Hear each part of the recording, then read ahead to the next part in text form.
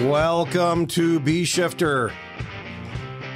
It is John Vance, Nick Brunacini, Terry Garrison, and today, Ask the Chiefs.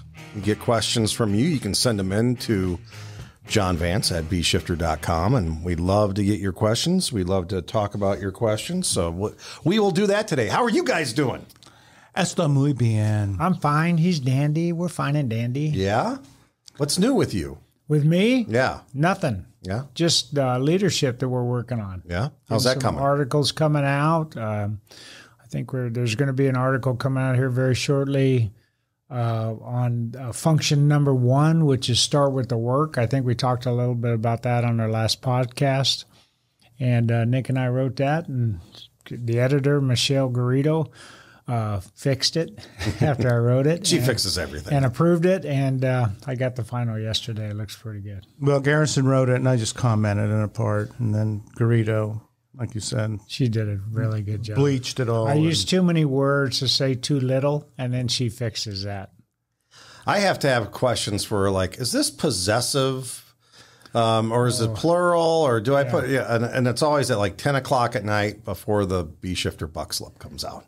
because I start Right. looking at it again and it's like, oh, I'm not so good with the English language sometimes. I go from past tense to present, then back to past. yeah. Or second person, first Yeah. person. Yeah. Uh, uh, You know, and sometimes I mean for it to look like that and, and read that way, and uh, it'll get changed. And I'll say, no, I meant for it to say what it said. It's it's well, no, it's not correct. It's, it, I, you edit a journal called B Shifter. It's the way I want it to read. Thank make you. Up, make up our own language. And sometimes I actually am successful in doing it.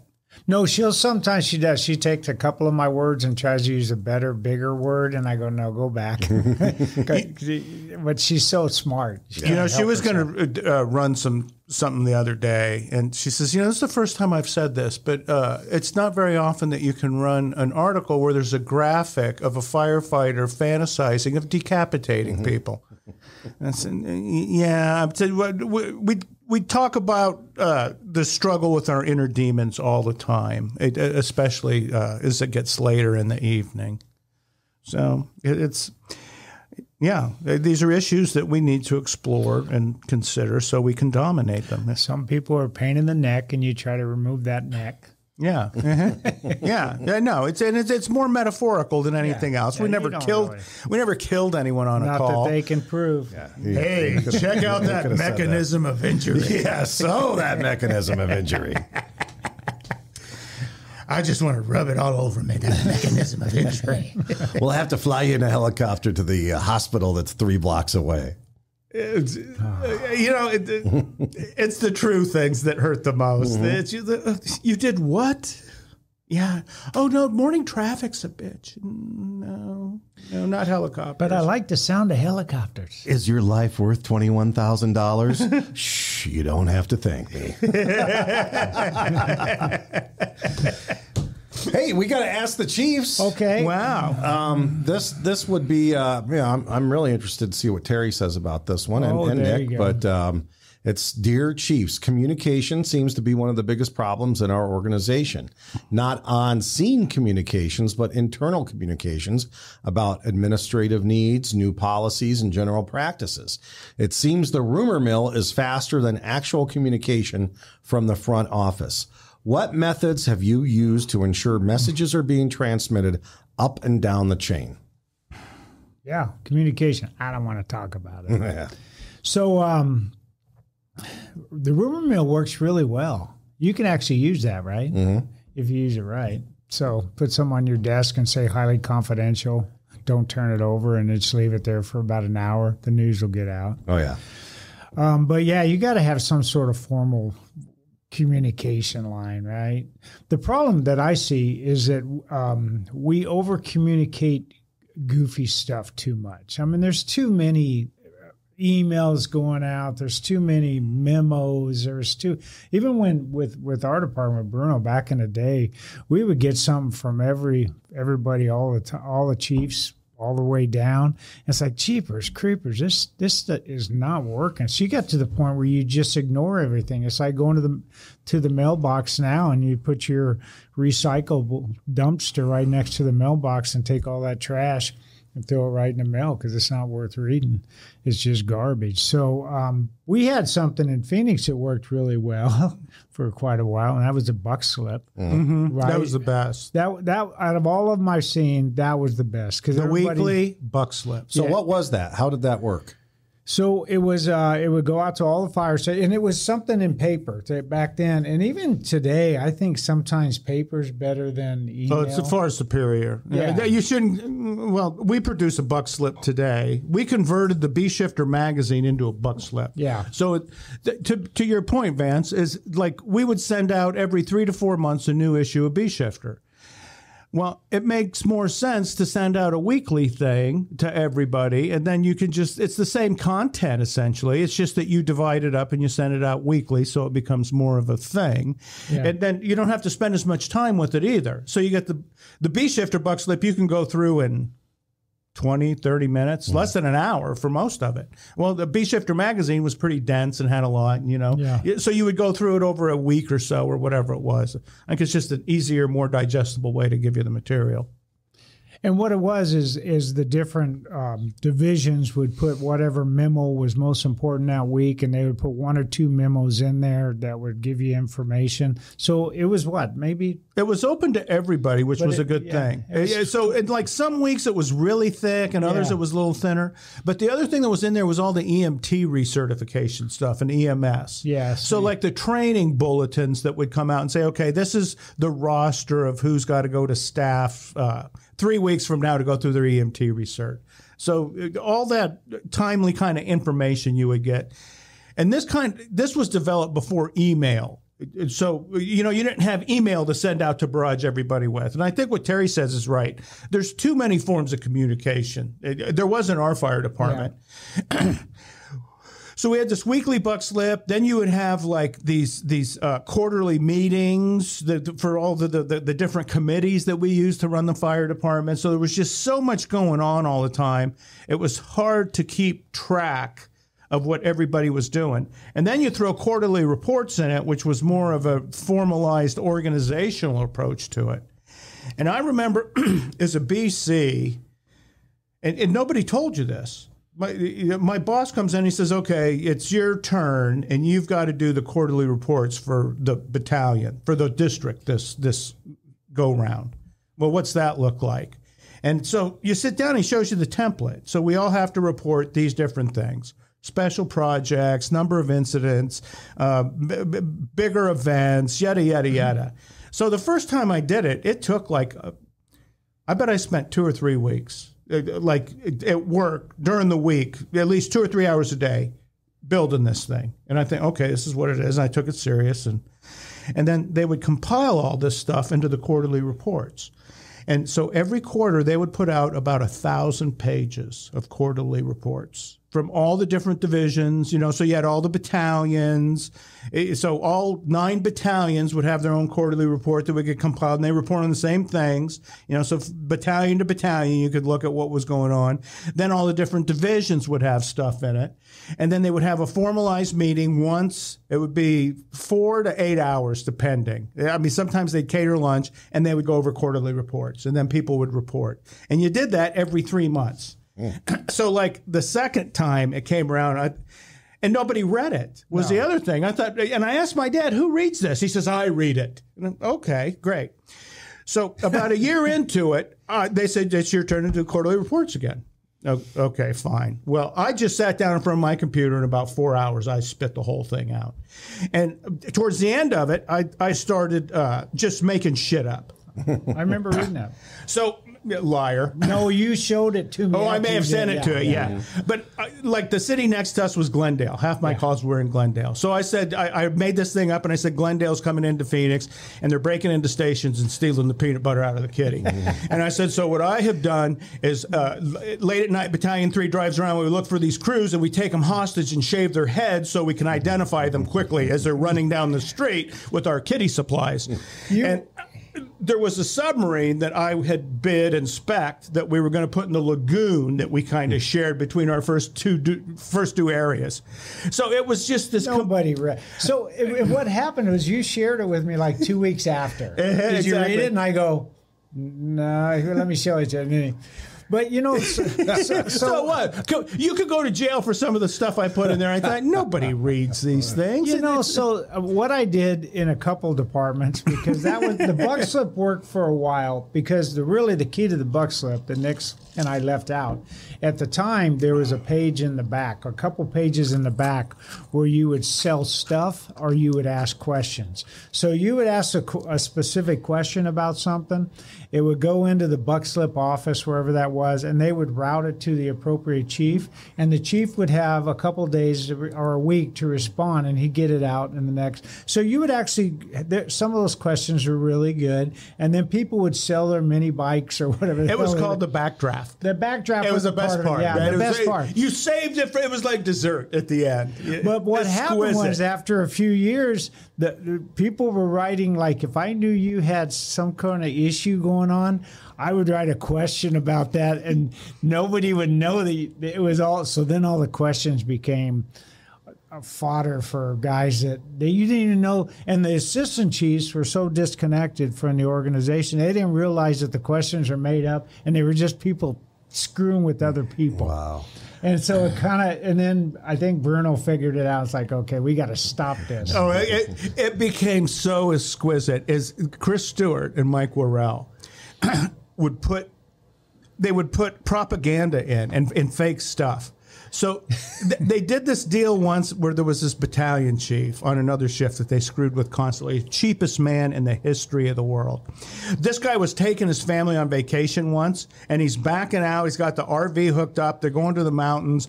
The phone rings, and they gave him like a 12 hour shift. The overtime shift on an Ambo, he pulled the truck right back into the garage. Sorry, kids, not going this week. put his uniform on, went to work, worked on an Ambo 12 hours. They put this thing in at Costco, where you got a, a if you bought one Caesar salad with chicken, you got a second one for free. Oh, Well, he cuts that out, man. He's going to eat free Costco chicken Caesar salad for the week. And he goes in and he takes his coupon. And I mean, they almost called the police on him. They said, We don't have those coupons. It was all made up. And it was in the buck slip. Oh, it was in the buck slip, Oh, the whole wow. deal. guys are selling other guys' equipment and stuff. Guys would be in jail in Mexico over like th- th- things they shouldn't have been doing, like th- whatever. And they so they would make things up about uh, this guy's name, garage in Tijuana, and you're like, and it would appear, and you think. How far can I take it? Yeah, just so- just being completely out of bounds in the buck slip. They had to stop it. It was like a year. It was the greatest publication that existed. Well, shit, like in New York City, it, th- this kind of came up during this period where they were trying to figure out what to do. Is, and you talked about it. Rumors are halfway around the world before the truth can wake up and put on its shoes. Right.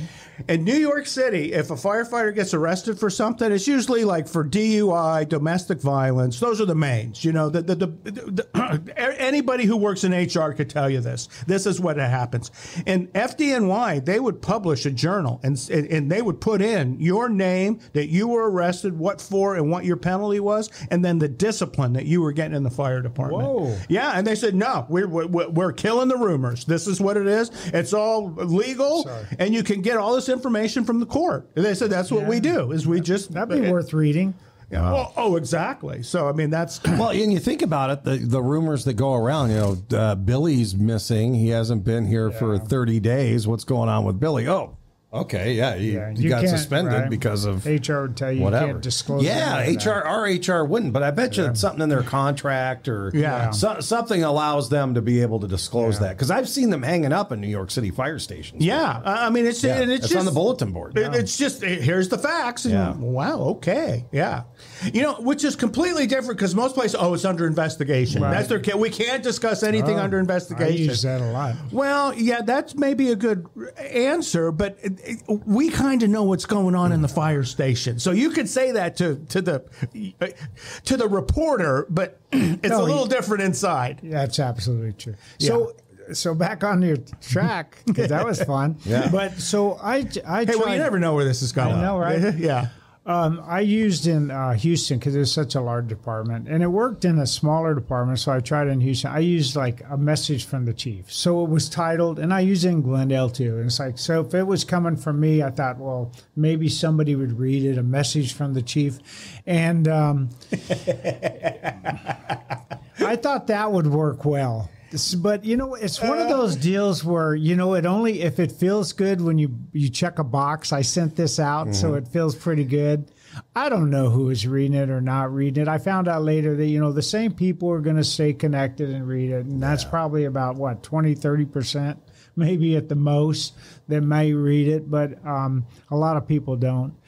Another thing they did in Glendale, just to kind of answer your question, is. Um, uh, Chris Gustafson, the guy who was there, who is a resource guy, did a really good job. He was running uh, logistics or resource or support, whatever you want to call it, and he would put out uh, a quarterly or I think it was a bi-monthly, but he would put together a really nice package of what he was working on, and it would maybe be four pages, and he had some graphics to it and everything, and he would send it out, and people would read that. That was a great way to do it but but like you said, so you got to, you know you could do the written, you could do the email, you could do the meetings. Meetings to me are the worst. They're yeah. absolutely worst, man. It's like we have meetings on top of there's fire chiefs who have four hour meetings every Monday. What the hell can you? T- what happened over the weekend that you got to talk about for four hours every Monday? Meetings have the greatest capacity for communicating with people because you're in person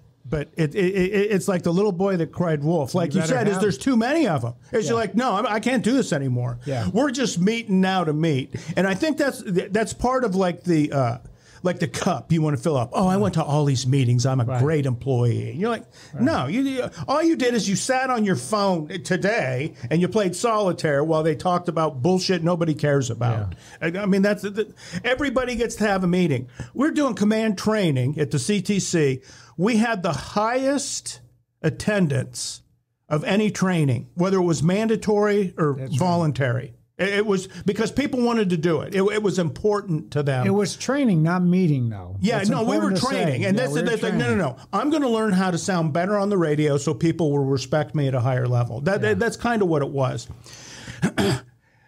personnel HR calls up and they say we need uh, 30 minutes of the next session. We've talked about this before in here. Yeah. And, and, well, why? Well, because we need to we need to have we need to inform the workforce about the new grooming policy to talk about tattoos and Fu Manchus. We're having a real issue with that. And I thought, you know, that does not fit into an IDLH hazard zone anywhere. The way I deal with that is they wear full protective gear. We don't worry about beards or any of that. It's, uh, you know, well, no, we're going to do it. No, you're not. Thank you. Five minutes later, the assistant chief calls back and says, I outrank you. yeah, but I ain't in your division. Goodbye. Mm-hmm. Uh uh The reason people come to this training is we don't talk about this silliness. This is a put it in the buck slip. You can't do this anymore. They, they, they know you've informed them. So now they're aware of the rule. We got into this deal about Code 3 driving for a while where we were crashing trucks and hurting people. I remember there was a thing with the, the training that we had is people were going to have to sign a document that they understood they couldn't run red lights anymore.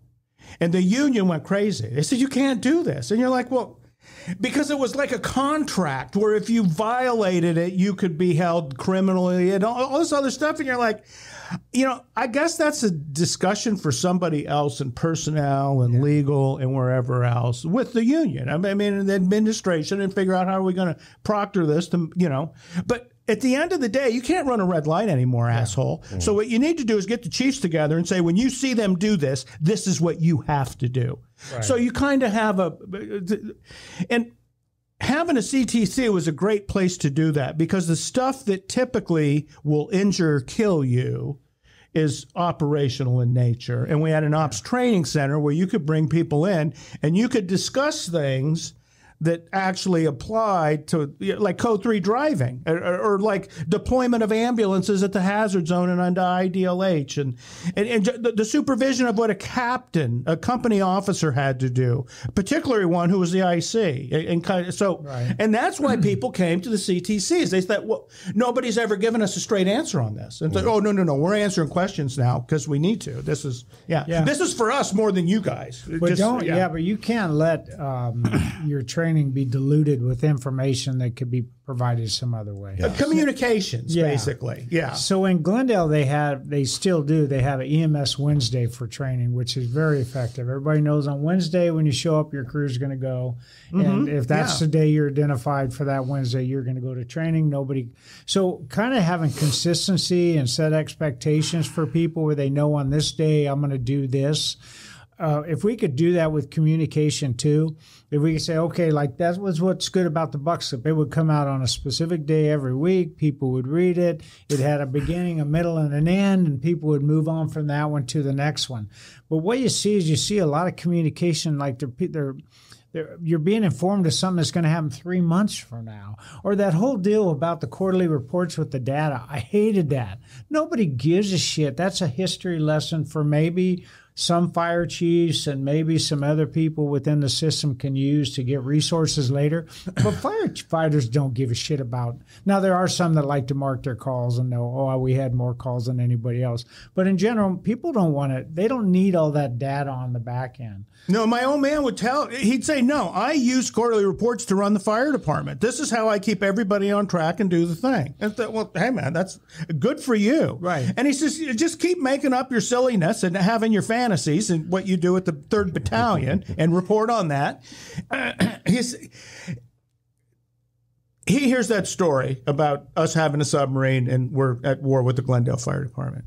And he says, you know, I early on I wrote in the first page, the introduction of the first quarterly report, that that, that uh, your fingers touched poison on the first pages, and the only antidote is contained on the pages in the back. So you have to read the whole thing. And I said, so you knew from the moment you started this It what was- you were yeah, doing. He yeah. says exactly. He says it's it's not to inform so much it is to keep people on track. That's Yeah. he says when you have to report on these things, that becomes your job.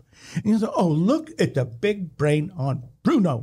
you, you, you're manipulating us, is what you're doing." He said, "Exactly." He says, "Yeah, I was raised by an Italian mother who believed in the, the Catholic religion. That's Man, I what think- you're, yeah." I think any organization where you have decentralized workers like we have, is communication is an issue, right? So how do you communicate with them best? I think you ought to try. Uh, fire chiefs ought to try a couple different things and see what work. Whether it's an email that you need to somehow click on and then you know you read it. There was a time in our fire department, Nick. I was back then when you got a really important email. It came with your pay stub. Now, of course, that's silly nowadays, but there, if you could tie it to where there's some sort Yeah, of, that was pretty good. You remember that? Yeah, some sort well, that of wasn't an email. That was like an actual Yeah. the union's customer Yeah, service book, It was right with you. stapled right there. Wow, that's that, very. That's Yeah. a powerful that's a- yeah. it's- ooh. or your W two or yeah, whatever the hell exactly. that was. Uh-huh. Your But- uniform allowance, Right, Yeah, but if Uh-huh. you, yeah, Yeah. I love that. My wife never knew about those back then.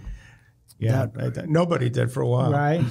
But uh, so uh, I think, but you got to, you can't just not communicate. You can't quit, right? You can't say, "Well, nothing's working, so I'm not going to communicate," because then you, you seem like you're, you you got to stay connected somehow. What's worked for you, John? And, and you can't over communicate, though, is the other thing. because then saying. it dilutes it, and people don't give a shit, right? Yeah, yeah. People Well, don't. They quit look listening. At the, look at the problem we're talking about. It- It's how do you communicate, keep the workforce connected? Every one of us has a goddamn smartphone that we're on all day. I mean, that, that's a, it's a communication device, I guess. Uh, So, yeah.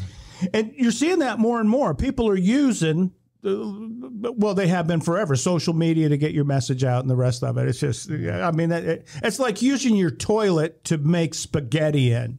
No, it doesn't work. It, it, it's, yeah, social media isn't used to communicate, I don't think. It, it- it's, yeah. Yeah, you're an IT kind of guy. Do- Intranet. Mm-hmm. Intranet. Yes. Do those still are Yes. those, those Yeah. still pretty effective? yeah, we've we've got an intranet. Okay. Called Insight. But uh, yeah, you can get on there and get get get your information. Yeah, I think that one of the things that we want to watch is because you've dealt with these employees before that want to send a, an email out on everything. It's the daily email. And we say save all of that. Don't send the entire department an email every day or, you know, all all these different divisions. Every 2 weeks we put out a newsletter called Smoke Signals. Put it in that. Oh. Now, if it's something important, you know, there's been a death in the department or something, you know, those are the those are the bulletins that mm-hmm. that, that has to get out right away. But anything else that's a normal operating deal, and and we do the same thing. We have uh, operations reports every week. That's that is in uh, the that goes right into the smoke signal, so everybody gets to read the reports if they want to. But that helps the fire chief run the department because it's going to help with requests for Right. resources or new station staffing or whatever else that we're doing. But I my my piece of advice is be transparent. Don't hold back information, but put it out in regular intervals, whether it's every week or every two weeks or every month. Collect it all, give it to them, and then also let them know how the fire department's Yeah, you performing. you kind of said you got to have a clearinghouse for that. Mm-hmm. It can't come from just everybody. Yeah. All you know, people are sending out emails to the entire organization. No, it becomes therapy Yeah, almost. You and can't, it- it's, it's not the right way to I do it. I got that It- too, it's- where I it's have too people, splintered. hey, I got to get this out right away. Well, let me see what it is. No, No, it Yeah. not Why would you This need to get not- this out right away? That you know, we're going to change training next month. Well, no, we'll put that put that in the newsletter. Yeah, Yeah, that's the schedule. That's in Yeah. the schedule. Yeah. Yeah. See, if you can electronically uh, control the schedule for everybody in the fire department, that's a huge deal Mm-hmm. because that's where you put the oh, here's the change, and you just go to your. When the crew comes in in the morning, that should be what they're looking at. Okay, what's on our calendar for today? In fact, if they're the regular crew there, they should be looking at that the shift they're getting off and what are we doing next shift. See that way the engine. Oh, the engineer knows it's rig day. I got to call in sick next shift. So being informed, you know that. One of the things we did, which was quite fascinating, uh, is we took this to the whole next level way back when, when we opened up our own TV station. Yeah, I mean, we ended up with the TV station. The city of Phoenix was able to strong arm Cox Cable and say, we need our own production facilities for the city.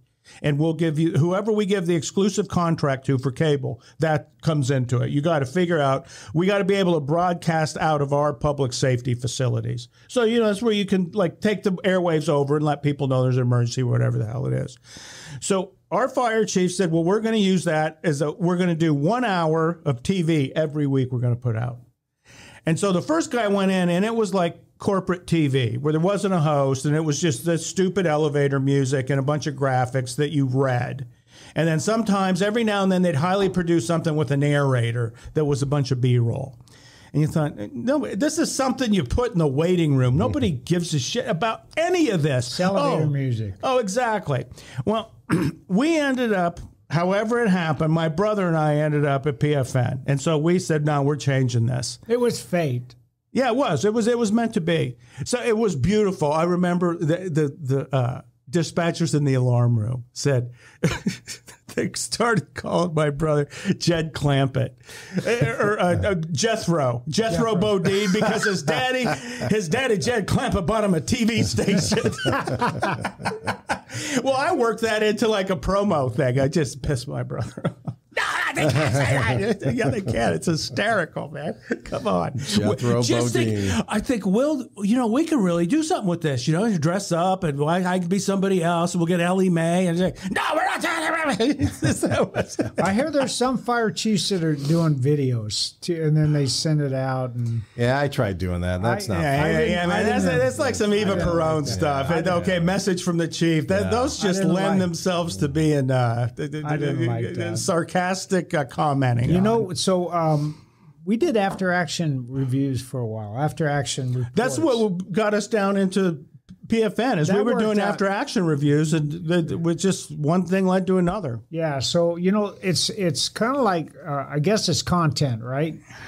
You got to have good content if you get want somebody to read it, And Yeah. what brings people into reading, you know, after action reviews. You guys were entertaining. That brought people in, the entertainment value. Well, we used to say that like it was broken into thirds. A third of them watched it because they hated it. A third of them watched it because they loved it, and a third of them just weren't going to do anything anyway. So it didn't matter. Didn't people pirate cable boxes back then? Yeah. uh-huh.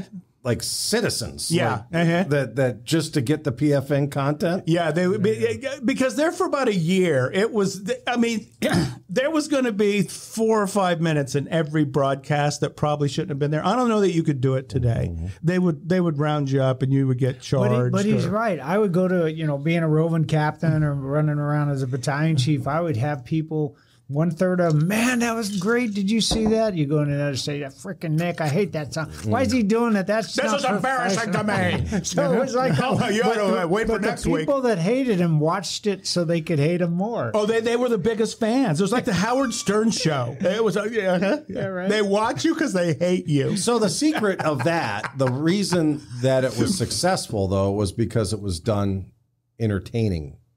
Well, it, had good content. We called it had a little bit- edutainment at the time. It was is the bullshit word we made up, but it was like ninety five percent just good straight training content. And that then- if you followed it, you would have success in whatever you were, whether it was laying in supply lines or doing fire attack. Or we got to the point where you were actually getting like CE credit for like EMS stuff. And they say it's just so boring though to watch an hour of EMS training on TV. Don't, and that's what came in. They said don't do that anymore. We need it broken up like you guys do because we we like the five to ten minute things.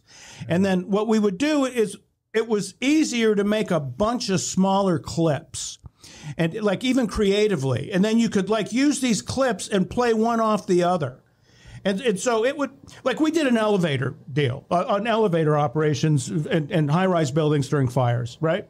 And so it was it was like a 15 minute video and it was full of just excellent information about how you safely use elevators when you have a floor on fire the only silliness we had is like uh, the, the narrator is there talking to like his crew, and this is what we do. And he pushes the elevator button, the elevator comes down, doors open up, and they're getting ready to go in, and Dr. Tulio comes out and looks at them like they're insects and just storms off. That that was the comedy. Yeah, that was it. That was it. Wasn't thirty seconds long, and that was the whole thing we did during that little piece. So that was, but that was the hook that they were just waiting. It's a little Easter egg Yeah, that everyone's uh-huh. waiting for to pop up because they know something funny is going to pop up during the middle of the serious content. Well, and it was all outlaw TV. So, like, we introduced stations and shifts. So, we would go to a station, videotape all three shifts, and then we would say, What's your favorite song for the station? And so, it was some rock and roll song, we would put it on, and we'd violate every copyright deal in the history of copyright mm-hmm. stuff because it was all closed circuit in the fire department. You thought nobody knew what the rules were. Like, our video crew would go out and videotape real calls. And so you would have people's images in these videos. Yeah. And I remember one of the PIO gals early on says, Well, no, you got to get their permission. And you're like, No, you don't. The media can They're film any- unconscious. Yeah, the media exactly. Yeah, well, and I mean, there's dead people, there's hands, feet. there, I mean, it's just it, it's like Faces of Death TV. Some of it, and you're like, no, I can't. But anyway, you could do that back then. Well, today you can't do that. I mean, there's a whole set of rules and privacy, and uh, so it was just the the 80s and 90s were an easier time to be th- like a social society, I guess. There, there were less laws that went with that. So you talk about you know what brings them in, what's the hook. So in a lot of organizations, in ours, the meeting, the hook was Bruno, right? So every once in a while, and I don't know how often he did it, whether it's quarterly or whatever, but he would have captains meetings, and um, he would. So people didn't miss those, man. If you had a chance to sit down in front of Bruno with all the rest of the captains on, about half the captains on that shift for a couple hours, you made those meetings. Now there's a time commitment to a fire chief. I was able to do that in some of the smaller departments I worked, and like you know Houston, that would have been. Oh, he preferred those to everything. But that those are his so favorite. good. So he would bring them in and do that. And but uh, other, I've seen other fire chiefs in that same city try it, and it doesn't work because what they do is they come in, and I'm I'm being critical here for a moment because I don't want anybody else out there to do what they did is they would come in and they would be in the room but it would be more of a reporting session where they would have each one of their division each one of their assistant chiefs go around the room and would tell and it was just reporting and it was it was a waste of time. It, it, people didn't want to attend it from what i heard and i wouldn't want to have attended it. But when you got the fire chief right there and you just one or two topics. You just maybe even just one, maybe something that's happened organizationally, maybe a current event type situation with a a I don't know a call you went on or an incident or whatever. Those two would capture everybody, and we would sit there for two hours and wouldn't want to leave and you got face to face with the fire chief, which means a lot to a lot of people. It did for us because we respected him, we wanted to be there. That's that's not a bad way to hold a meeting, but to bring everybody in and just report, have each report, and then just it's just like uh, chin boogie. Yeah. Right? So in those captains meetings, were all the other chiefs in there, or was it just the captains and Bruno? Who, It was everybody. it was Yeah, the, everybody. chi- the the Chiefs would come in, and but see, there's trust in there too, right? So you could ask Bruno certain things in front of your chief, and it feels like it, you're not going to get one of those, "Hey man, why'd you ask that kind of thing? Why'd you why'd you go around this chain of command or whatever?" Um, so there's a lot of trust in that. But he would sit in those meetings and he would talk, and uh, there would be people that would show up who they- they wouldn't even have a reason. They come on their days off. I'm going to go to. I, I went out of town and I missed my Chiefs meeting, so I'm going to go this week and then show up for no overtime and participate in the meeting. But yeah, the Chiefs were involved, but the Chiefs wouldn't report. They would be a part of the conversation, right? So, Yeah. uh, but the when deal was it. You wanted to go to those meetings. Well, the reason I wanted to go to him it, it, it was not to hear what the fire chief had to say. I, I could hear that anytime. I went to hear what the crazy ass captains were going to say. Well, they because those were so. comedy shows. I, I mean, you would have because it was an open forum typically. Yeah, yeah. As he would have people in, and like Terry said, it was like if it was an operations thing, it, it- like the meeting mostly dealt with operational stuff. The ops chief would be there and comment, so he would talk a little bit more, or a shift commander would. You know, somebody animated that understood what was going on. But a lot of it was just him discussing. I'll give you an example. Union negotiates contract. the city comes back and says, "Well, no, we want you to be drug tested. We're drug testing everybody, and you guys haven't. You're, you're the only ones not being drug tested, and you have to agree to it. We can't make you do it." And so we had a very uh, robust. A very yeah, robust union guy who understood how all this worked. And so what he was able to do was parlay a 10% across the board raise if we would do drug testing, right? No, I mean that's what it was. So the fire chief comes in and says, "Okay, here's the big deal on the city thing," and there were union guys in there who supported it because that's their job is to get you a raise. And they're like, "And this is, and this is what it's going to look like." So the city didn't care what the drug testing, uh, like the details of the policy were. They could give a rat's ass. We just want to say we're drug testing you. Well, the union comes back and says, "Okay, this is the most, this is the least invasive way to do this for us. It's, it's an unscheduled drug test that you can only give from like the months of July to to, to December. Well, shit, that's half the year. So I mean, you so you get it. But Yeah. Anyway, we all come in. Fire chief says, "Hey, listen, the union wants to do this. The whole city's doing it. You know, we're not. And so you know." Well, what do you think, Chief? Well, you know, I'll, I'll be the first one to pee in the cup. And Randall Dunn, the, the most senior person in the room of anybody, of well, maybe with the exception of my dad, had more seniority, but he was the only one. My dad looks at me and says, Randall, what do you think? And he says, Well, Chief, you're the chief for a reason, as I'll do what you tell me. And he says, What do you want us to do? And he says, Well, I would do the drug test, you know. He says, Good, because I got a piss. And he gets up and he goes, Yeah. And he says, Come here, give me a cup. Not oh, yeah. He says, Well, okay, you go ahead and take care of your business. But I mean, and then you had three people that had a seizure that he said that. And so we had an argument for like 15, 20 minutes. And it was good. You could process all that. But what happened is, see, the communications is before you got back to the station, 25% of the fire department knew what was said in that meeting. I mean, because I mean, yeah, That was I mean, before you- cell phones. No, there were cell coming. Yeah, phones. right. There, there- I mean, but, but know. yeah, that was a yeah. So you you hung up from your 900 number. then you or you had to call station 15. Well, we had a pager. Exactly. Uh-huh, yeah. Telephone, tell a friend, tell a firefighter. But those were good. Those worked out really well. And, um, you know, to have the fire chief show up and actually listen to people, that was a big deal. the pager was actually a ventilation device. The pager. Yeah, like when I, you were a response chief to have a pager, Uh-huh. and if it was like the second time it woke you up, you ventilated by throwing that on the ground as hard as you could, and it would come into twenty-seven pieces, and you'd have to get a new pager. Sorry, but that's my pager story. That's his pager story. Yeah. So limit the communications. You know, don't over communicate. You've got to communicate in, in a way that people are actually going to pay attention to it and you're not uh, saturating them with messages all day. And then have some creative ways to communicate. Things like PFN, if you could have some fun while doing it. And then regular meetings with the fire chief if if it's going to be a forum to actually ask questions Right. and and it's a two-way communication not just the the fire chief addressing the masses and we shall wear this uniform and we shall do this you don't want that you No, want you don't want that. you want there to be an actual conversation with with the people Well, even just like keeping connected.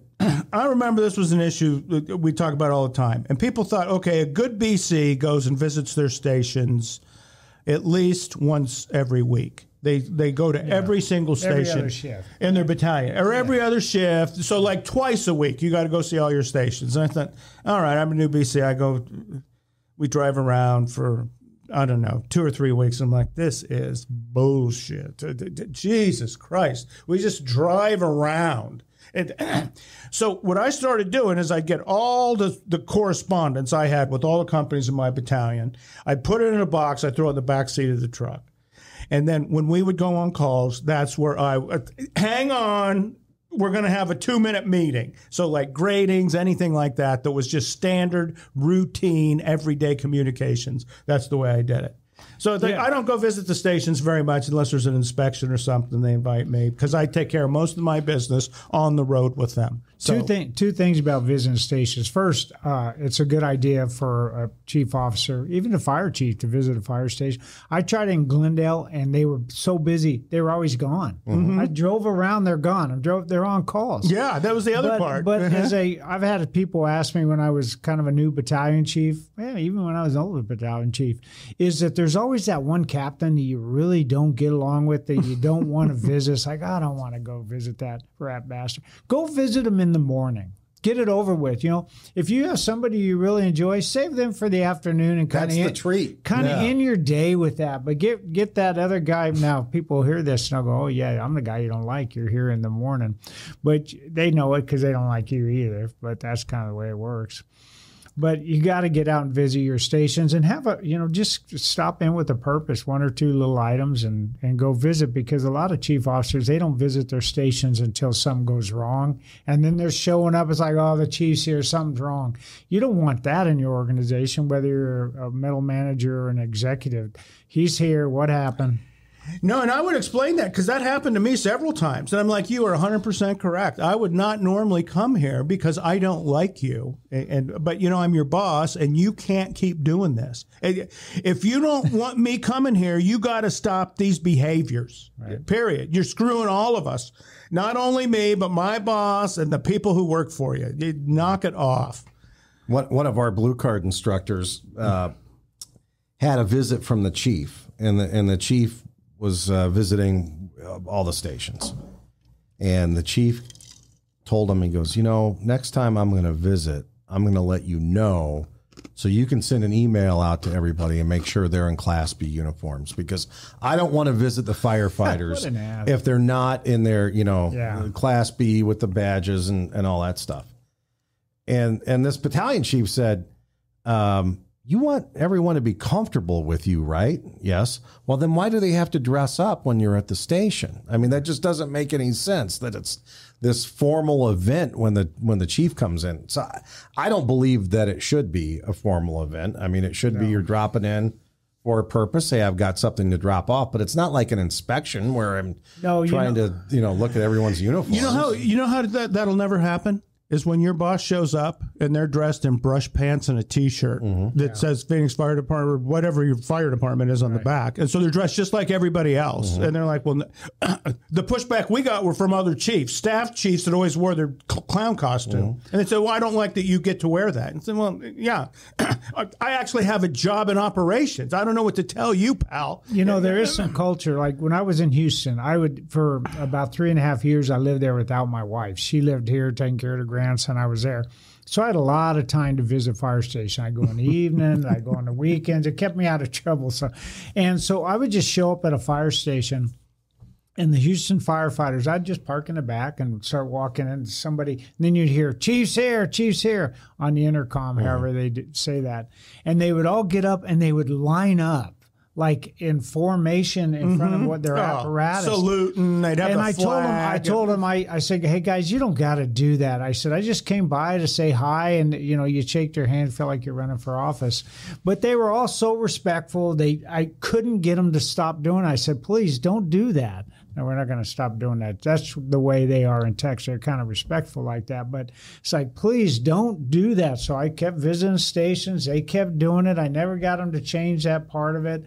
And you know, I quit would- going. Uh, no, Yes. uh-uh, this is painful, pal. well, I, I we would get over that piece of it, then we go upstairs and we sit at the table and have a conversation, or or walk around the apparatus, have a good conversation. But the front end of it was so you know that tradition was there for them. Now they didn't dress any different. I wouldn't expect that, but I just kept telling, them, please don't do that. Now, Chief, you don't understand.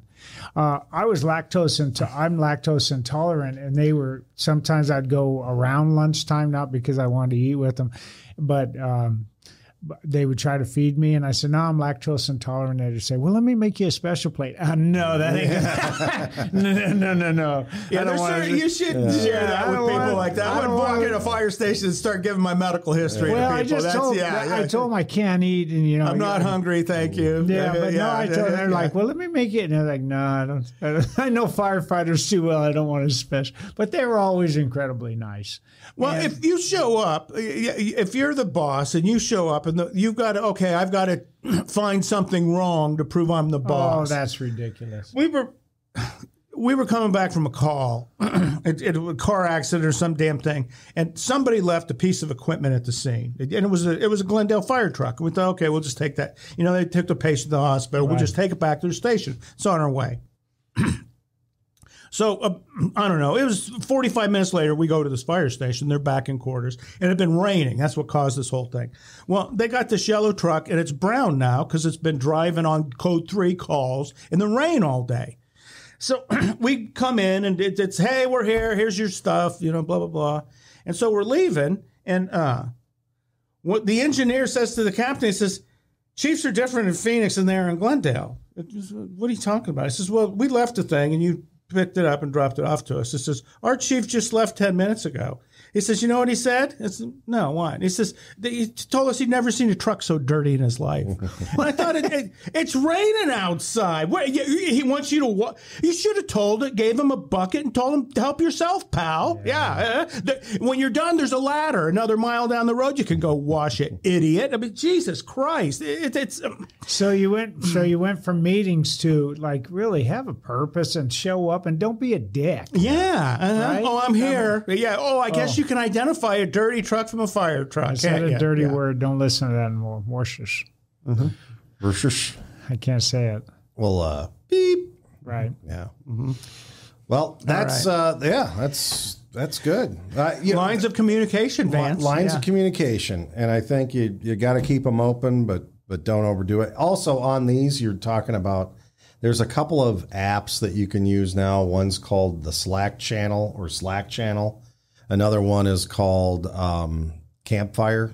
So that there's there's entire chiefs command staffs. They they communicate on Campfire and Like you Or can have could- different channels on They could them, just so- text each other too. Well, that's the, all, all the it thing really is, is. is it, if, if it's like a logistics issue, then you go to logistics channel. Gotcha. If it's a operations Mhm. issue, you go to operations. If Oh, it's wow. admin, you go. So so you're not inundating people with messages they don't care about. But if it's a logistics thing, okay, I'm going to go to the Yeah. Mm-hmm. logistics thing and and get my question answered or whatever. So The key is just don't send out garbage to people. don't and and, and and don't expect them to yeah. read it. don't overdo it. And, and, Yeah. Mm-hmm. and make it meaningful, and then be transparent. Don't don't hide anything from folks. Well, and you can have periodic meetings where you meet. I mean, that was kind of the nice thing about using committees to manage the fire department is it was a standing schedule of meetings you would have, and you think, okay, and those worked really well. Where I have to go process some operational issues that we're going to do now, whether it's the the ladder fleet is aged and it's not working the way it needs to, so we're going to need to change the way we do ladders at the scene. That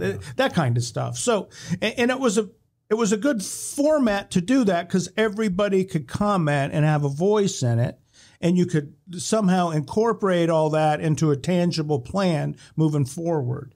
And, and then you, and then those committees saw oh we did this and th- th- this is was the effect of this is it actually had a good thing? Whereas because it's always going to be 50-50 this is stupid waste of time or we have to get together to fix whatever this is so those are the two and it's never wha- oh, in the me- middle it's always one or the other in my experience And I know you don't want this podcast to last forever, but the other thing that I've noticed, Gary Fleischer does. Yes, he does. His Gary, do. the other thing I notice in organizations is the the labor groups are really good about getting information out. They got stewards. They visit the fire stations. They listen. Maybe it's because of their content's different, but they it seems out like labor groups outperform us all the time in communications. Mm-hmm. Well, that's what uh, it is. Use- They're a political them. committee. They're designed to do that, But to, to, could- to yeah. influence people's minds and hearts. But you can use them a little bit too, to if you got a message, you know, if it's something that kind of matches with what you're doing operationally or resource wise. And there was a time in an organization where I went out with a labor president. It's like, hey, let's go out together. Let's send the stewards out with the battalion You got to have great relationships when you do that.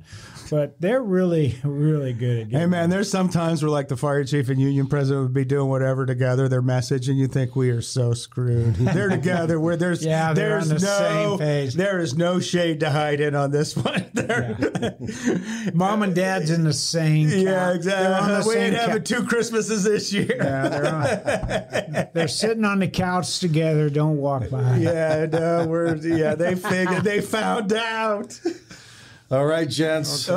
Good times. Acts are the best. Thanks for being here on B Shifter. Uh, we'll catch you next time. Yes, indeed.